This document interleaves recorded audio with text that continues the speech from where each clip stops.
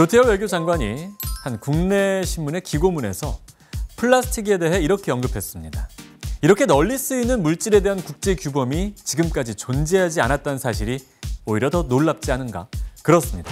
지구를 아프게 하고 해양 생태계를 파괴하는 플라스틱에 대한 국가 간의 약속이 아직 없습니다. 앞서 살펴본 쓰레기 섬이 지금 이 순간에도 바다 곳곳에 더 많이 생기는 이유라고 할 수 있는데요.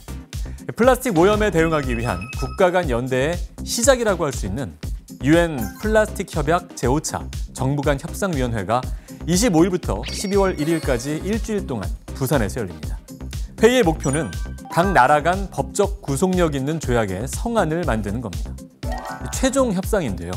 나라별로 이해가 다르기 때문에 넘어야 할 산이 많습니다.